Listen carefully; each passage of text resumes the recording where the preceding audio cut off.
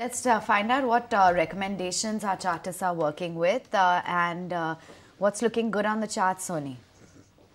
Uh, hi. So the first pick would be a buy in Naukri, which has uh, which is approaching a fresh breakout.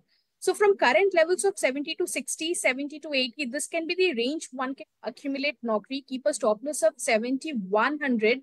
A target of 7450 can be seen. So Naukri has seen good long built-up positions as of Wednesday's closing, as well as a fresh, uh, you know, breakout attempting on charts. The second pick is for coming from Havells, which has also given a good option chain breakout above 1820 levels. The stock can soar higher towards 1900, 1910, which is a target. One can accumulate to buy around at current levels of 1850 to 1840. That can be the buying range. Keep a stop loss of 1800 and a target of 1910. All right, Nooresh, what's uh, it that you're tracking on the charts? So continue to be a little more defensive, uh, given that we'll have a gap up. So looking at uh, uh first is a large name, Reliance Industries, which has uh, been finding a lot of support around the 2900 mark.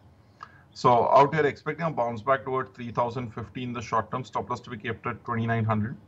Second is a barn Naukri, which is finally coming back towards that uh, 2021 highs. Uh, the trend is strong and in the uh, uh, new age companies, a lot of stocks have done really well. Naukri being one of the large holders of such companies looks pretty promising for a breakout move into new all-time highs. So stop loss is 7100, target price of 7600. If you like this video, then like, share and subscribe to ET Now.